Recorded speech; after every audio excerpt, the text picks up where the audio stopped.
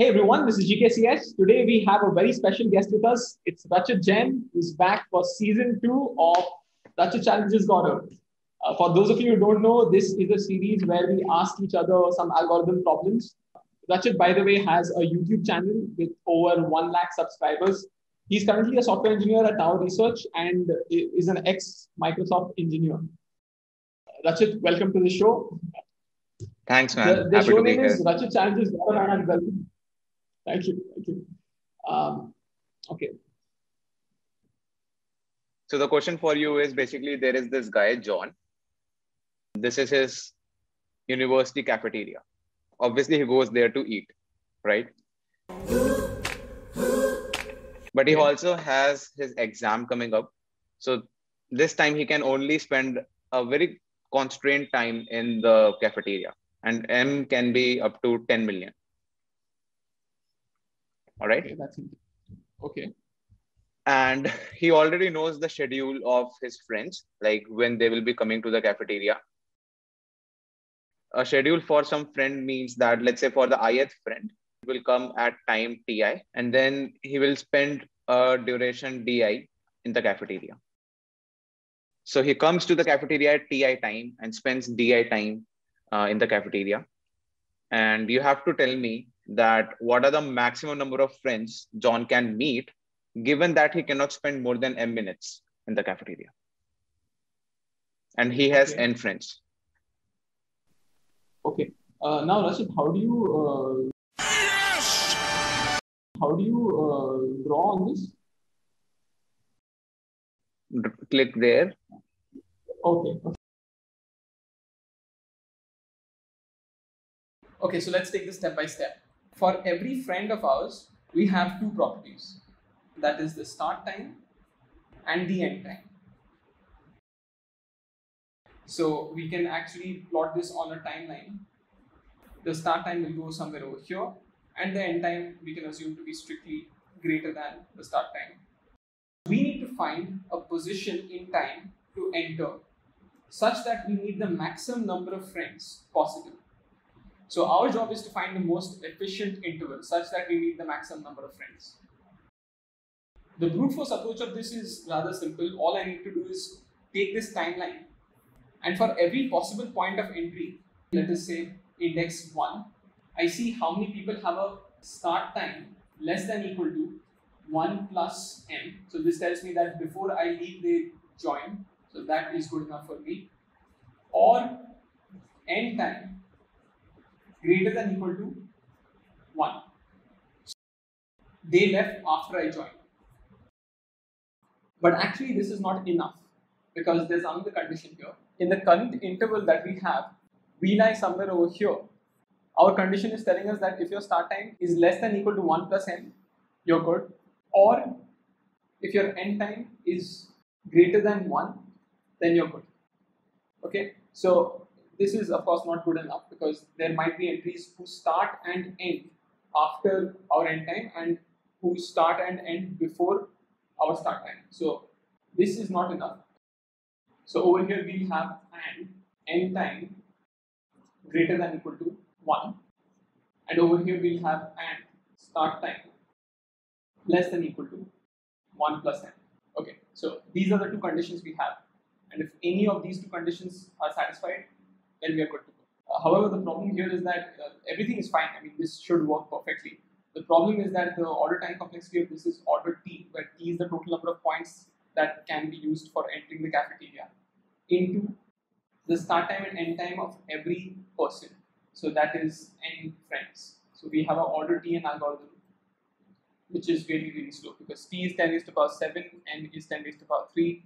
This is going to be 10 raised to the power 10, which is not going to pass the time limit. This is around 10 seconds of execution time.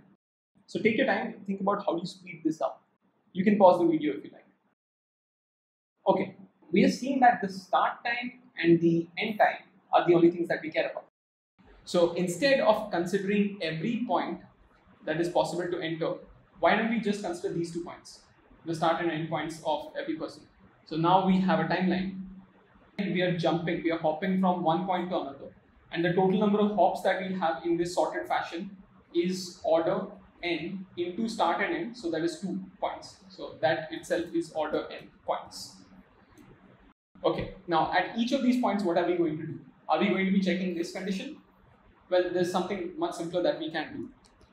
At any given point when we enter the cafeteria, the only people we are bothered about are the current number of people in the cafeteria plus the number of people who will join us. So for this condition, the first one, current population, we can keep a counter as to whenever a person enters the cafeteria, we do a count plus plus, and whenever a person leaves the cafeteria, we do a count minus minus. So when we are jumping from point to point, we see that if this is an entry point, then we do a count plus plus. If not, we do a count minus minus, and so we have a current population count. That's going to be order one per point. Also, how many joinees do we have after coming in at this slot? So if we come in here, we are basically going to be here from the point plus m. Right?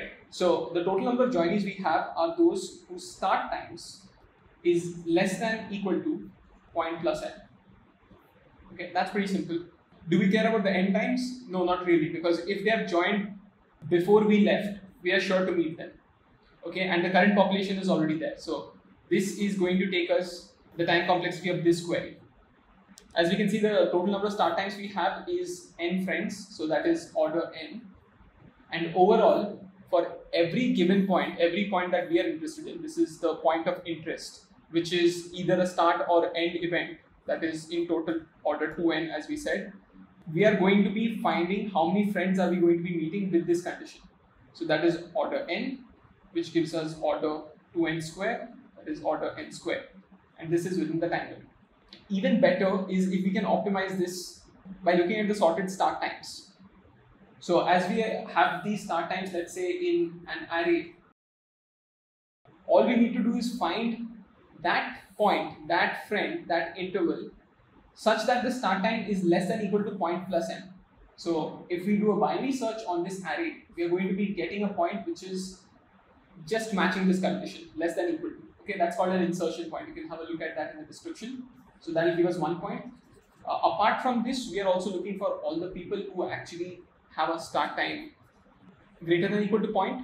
So that can also be done using binary search. And once we have these high and low ranges, we just need to do a high minus low plus 1 and that will give us the current count, the new joinees that we have. So instead of order n, this is of course order 1 and uh, finding high and low is going to take us order log n. So in total we are converting this operation of order n square to a order n into log n operation. Uh, this is well within the time limit. Order n square is also going to pass, but order n log n is like super fast. Uh, however, there's a much easier way to think of this problem, and let's see if we can understand that approach. Let's sort all the timestamps, okay, all the events. So we have a person entering or a person exiting. These are the two types of events that we have, and we are sorting them by timestamp. To find the maximum number of people we can meet at any given point is very easy. All we need to do is just hop from one point to another. If we have an entry, we do a plus plus in the count. And if we have an exit, we do a minus minus in the count. Okay. Uh, this gives us the maximum number of people we can meet at a single point. However, this is not going to give us the right answer if we are going to stay for m seconds because you might have a person coming here and you might have a person coming here and the right time to come would be somewhere over here which is going to be allowing you to stay for m seconds and meet both these people. Okay, so a single point is not what we are looking for. We are looking for some sort of an interval solution. What we instead can do is redefine this problem. What do you mean by single meetings in an interval? For any given interval in the cafeteria, a person starts at S and ends at T. However, when we come in at this point, at this edge, what we are effectively doing is keeping the spirit alive for the next m seconds. Okay, I mean, if we come here, then we have effectively conquered all the people who are coming in the next m seconds. Which means that we have effectively pushed their end time by m seconds.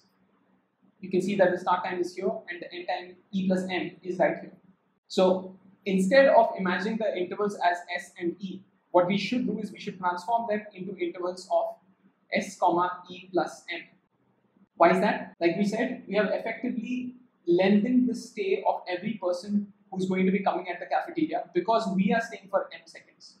Now the problem is a very simple problem. Uh, instead of taking the start time and the end time, this becomes e plus m, and we use the same algorithm of count plus plus or count minus minus to get our job done. Okay, this works because effectively, like we said, we have pushed the end time of every person by m seconds. You can also use the same logic for pulling the end time by m seconds. It works perfectly again because if you touch the start time here and you, if you start thinking in terms of reverse order, if you have seen some Christopher Nolan movies, what you can do is you can think of all the start times being pulled back by m seconds.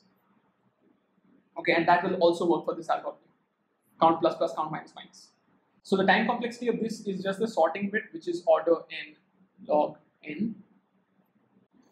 And for counting, for every point, it is just order 1 per point, so that is order n.